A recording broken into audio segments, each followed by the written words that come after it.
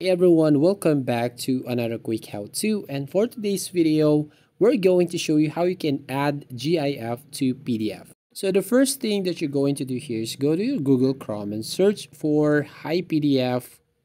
So just type here High HiPDF online PDF editor. So just type right here and then just have to search for it. And then you just have to uh, click on the search button and try to click on the first link here, HiPDF Online PDF Editor.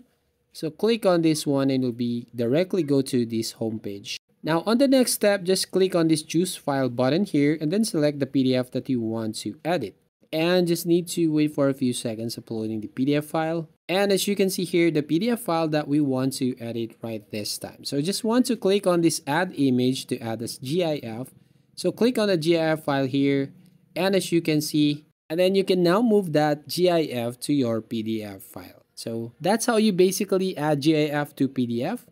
And that's all. Thank you for watching. Please like and subscribe to this channel. And don't forget to ring the bell icon to notify you on the next video.